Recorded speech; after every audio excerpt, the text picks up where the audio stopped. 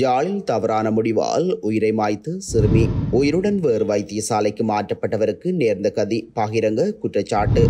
பானின் விலை தொடர்பில் எடுக்கப்பட்டுள்ள முக்கிய தீர்மானம் ஜாலில் பெருமளவிலான கஞ்சாவுடன் சந்தேக நபர் கைது. முன்னூற்றி ஐம்பது ரூபாவினால் குறையும் எரிவாயு விலை வழங்கப்பட்டுள்ள அவகாசம்.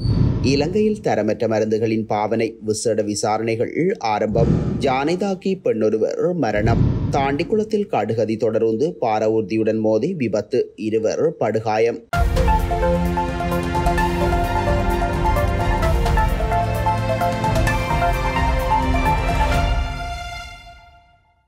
யாழ்ப்பாணம் கல்வியங்காட்டு பகுதியில் வீட்டில் பணிப்பெண்ணாக பணிபுரிந்த சிறுமியொருவர் சடலமாக மீட்கப்பட்டுள்ள நிலையில் மன அழுத்தம் காரணமாகவே குறித்த சிறுமி உயிரிழந்துள்ளதாக விசாரணைகளில் தெரிய வந்துள்ளது சிறுமி வீட்டார்கள் கதைப்பதை வீட்டு உரிமையாளர் தடுத்ததுடன் பல்வேறு நெருக்கடிகளை வழங்கியதால் ஏற்பட்டு மன அழுத்தம் காரணமாகவே குறித்த சிறுமி உயிரிழந்துள்ளதாக ஆரம்பகட்ட விசாரணைகளின் போது போலீசார் தெரிவித்துள்ளனர்.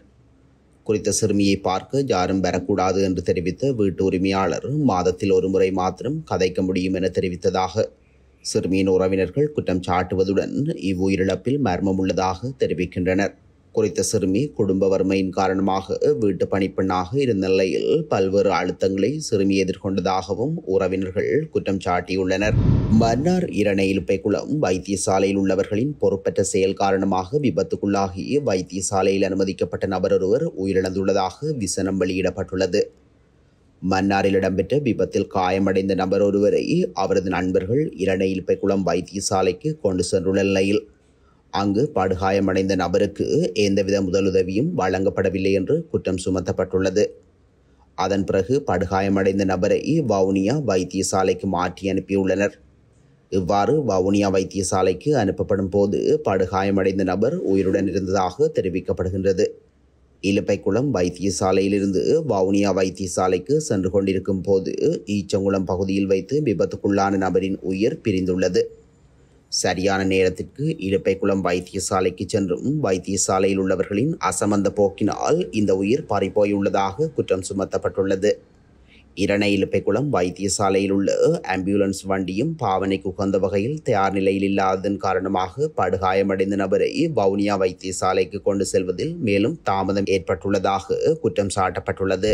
பாலின் விலை மற்றும் எடையை பதிவு செய்வது கட்டாயமாக்கப்பட்டுள்ளதாக வர்த்தக அமைச்சர் நளின் பெர்னாண்டோ தெரிவித்துள்ளார். நேற்றைய தினம் ஊடகங்களுக்கு கருத்து தெரிவிக்கும் போதே அவர் இந்த விடயத்தை குறிப்பிட்டுள்ளார். அவர் மேலும் தெரிவித்துள்ளதாவது சுமார் நூற்றி ஐம்பத்தி ஒன்பது ஆண்டுகள் பழமையான பான் கட்டளை சட்டம் ரத்து செய்யப்பட்டதைத் தொடர்ந்து இந்த முடிவு நடைமுறைக்கு வந்துள்ளது. இந்த புதிய ஒழுங்குமுறையின் கீழ் அளவீட்டு அலகுகள் தரநிலைகள் மற்றும் சேவைகள் திணைக்களும் நுகர்வோர் விவகார அதிகார சபையுடன் இணைந்து தேவையான இடையே பான் விற்கப்படுவதை உறுதி செய்ய சோதனைகளை நடத்துவதற்கான அதிகாரம் வழங்கப்பட்டுள்ளது என தெரிவித்துள்ளார். ஜாழ்ப்பாணம் மருதங்கேணி போலீஸ் பிரிவிற்குட்பட்ட மாமுனை கடற்பகுதியில் வைத்து கஞ்சாவுடன் சந்தேக நபர் ஒருவர் கைது செய்யப்பட்டுள்ளார். நேற்று கைது செய்யப்பட்ட நபரிடமிருந்து கஞ்சாவை எடுத்துச் செல்ல பயன்படுத்திய படகு மற்றும் நூற்றி அறுபத்தி ரெண்டு கிலோ எடையுள்ள கஞ்சா பொதிகள் என்பன மீட்கப்பட்டுள்ளன. இந்த கைது நடவடிக்கை கடற்படையால் முன்னெடுக்கப்பட்டது. இது குறித்து மேலதிக விசாரணைகள் கடற்படையால் முன்னெடுக்கப்பட்டு வருகின்றது. அடுத்த வாரத்திற்குள் லேப் எரிவாயுவின் விலையை முன்னூற்றி ஐம்பது ரூபாவினால் குறைக்க வேண்டும் என வர்த்தக அமைச்சர் நளின் பெர்னாண்டோ தெரிவித்துள்ளார். இது குறித்து அவர் மேலும் குறிப்பிடுகையில் லேப் சமையல் எரிவாயு கொள்கலன் ஒன்றின் விலையை லிட்ரோ சமையல் எரிவாயு கொள்கலனின் விலைக்கு சமமாக விலை நிர்ணயிக்கப்பட வேண்டும். அதற்காக லேப் எரிவாயு நிறுவனத்திற்கு ஒரு மாத கால அவகாசம் வழங்கப்பட்டுள்ளது. லிட்ரோ மற்றும் லேப் சமையல் எரிவாயு நிலைகளில் சமநிலையை பேணுவதற்கு இந்த நடவடிக்கை மேற்கொள்ளப்பட்டுள்ளது. இதன் பிரகாரம் அடுத்த வாரத்திற்குள் லேப் சமையல் எரிவாயு கொள்கலனின் விலையை முன்னூற்றி ஐம்பது ரூபாவினால் குறைக்க வேண்டும். லிட்ரோ சமையல் எரிவாயு விலைக்கு சமமாவதற்கு இரண்டு கட்டங்களின் கீழ் விலை குறைப்பு மேற்கொள்ள வேண்டும் என்றும் லேப் நிறுவனத்துக்கு அறிவிக்கப்பட்டுள்ளது என அவர் தெரிவித்துள்ளார். இலங்கையில் தரமற்ற மருந்துகளை பயன்படுத்தியமை தொடர்பில் கணக்காய்வாளர் நாயகம் திணைக்களம் விசேட விசாரணைகளை ஆரம்பித்துள்ளது.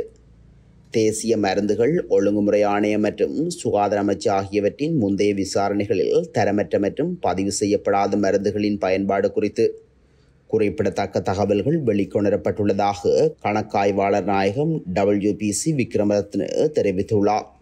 இலங்கையின் பல்வேறு பகுதிகளிலிருந்து தரமற்ற போதைப்பொருள் பயன்பாடு குறித்த முறைப்பாடுகள் இந்த சிறப்பு விசாரணையை ஆரம்பிக்க வழி ஏற்படுத்தியுள்ளது.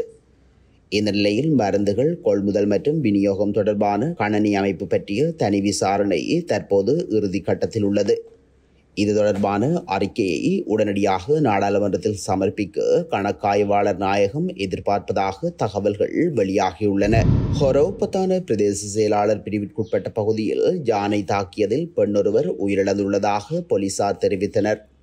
குறித்த பெண்ணின் வீட்டிற்கு முன்னால் உள்ள காணியில் மரமுதிரிகை நாட்டப்பட்டிருந்த நிலையில் அக்காணியை பார்வையிடுவதற்காக நேற்று காலை சென்றபோது யானை தாக்கியதாக ஆரம்பகட்ட விசாரணைகள் மூலம் தெரிய வந்துள்ளது இவ்வாறு உயிரிழந்த பெண் ஹொரவுப்பத்தான பரங்கஜாவாடிய நவடெவ பகுதியைச் சேர்ந்த ஒரு பிள்ளையின் தந்தையான கே. சரோஜா எனவும் போலீசார் தெரிவித்துள்ளனர்.